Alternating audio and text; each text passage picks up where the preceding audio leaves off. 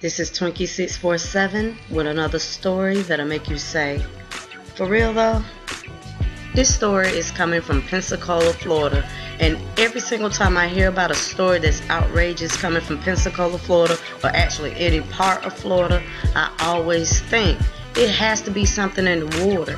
It has to be the atmosphere. It has to be something because the craziest stories always come from Florida.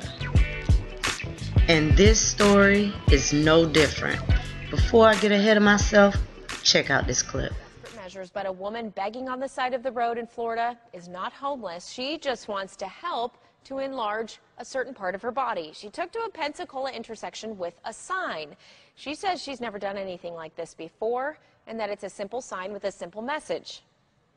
I just want bigger boobs because I'm not happy with the ones that I have, and I figured this is a good way to do it. People put out signs that, you know, they're homeless. I'm not. so I'm just being honest. Andrew says that she wasn't sure what kind of reaction that she would get or if she would actually collect any money. By the way, all right now, it's time for me to go ahead and give you my honest commentary. Is this where we are now? I mean, seriously, is this where we are? How selfish is that for this woman to stand on a corner and collect any amount of money because you have homeless people out there that really do need this spare change. You don't know how much your dollars and cents will make a difference to someone else. But this right here is selfish. Why don't she just opt to get a job? That's how a lot of people get their enhancements done. Why don't she just go out there and find a hustle? Find some type of way to exploit her natural talent. To get out there with a sign and basically mock the idea of panhandling just to panhandle for bigger boobs is a selfish type thought process.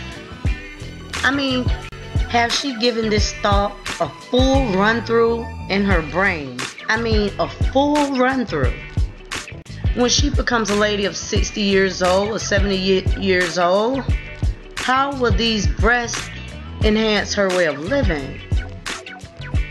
Exactly what will these breasts help her achieve?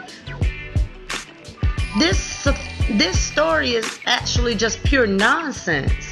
I don't even see why the news covered it, but the only reason that I'm speaking about it is because it's absolutely insane and it speaks volumes for the selfishness that happens in America.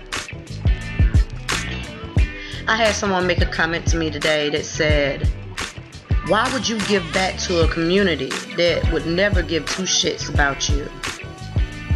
And for that, I want to say, if everyone keeps this type of mentality, we will remain where we are.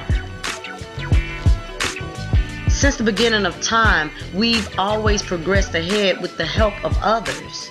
So why will it stop now? To what benefit will stopping it now do any of us?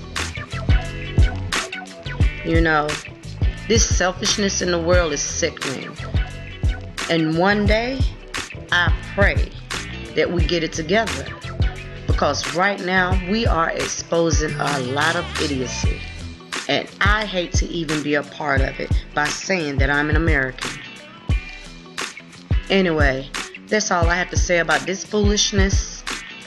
And I hope you all have a great day. I love you all. Peace and blessings.